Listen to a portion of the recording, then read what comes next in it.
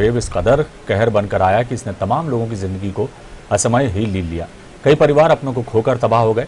इसी तरह यहाँ रहने वाले रतनलाल कुशवाहा की मौत भी पिछले अप्रैल माह में कोरोना संक्रमण के कारण जिला चिकित्सालय में इलाज के दौरान हो गई थी, जहाँ पिता की मौत का दर्द झेल रहा सत्रह वर्षीय विक्की मृत्यु प्रमाण पत्र बनवाने के लिए पिछले एक माह से सरकारी दफ्तरों के चक्कर लगा रहा है, लेकिन दिन दिन भर गुहार लगाते हुए भटकने के बाद भी अभी तक उसकी कोई सुनवाई नहीं हुई। नगर पालिका में पहुँचने पर बताया जाता है कि आपका पंजीयन यहाँ नहीं है आप जिला चिकित्सालय में जाएँ वहाँ से ही आपके पिता का मृत्यु प्रमाण पत्र बनेगा। इस तरह नाबालिग विक्की दर दर की ठोकरें खाते हुए भटक रहा है। नगर पालिका में जो बोलते हैं कि आपके पिताजी का रिकॉर्ड हमने हॉस्पिटल भेज दिया है।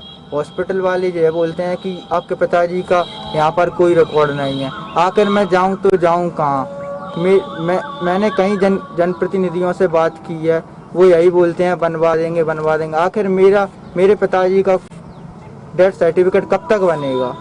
मेरा इस दुनिया में कोई नहीं है। मेरा एक छोटा भाई, दो बहन है और मेरी मम्मी अकेली हैं। आखिर मैं जाऊँ तो जाऊँ कहाँ? मैं मैं अपने परिवार का लालन पोषण करूँ या अस्पतालों में ऐसे ही भटकता रहूँ?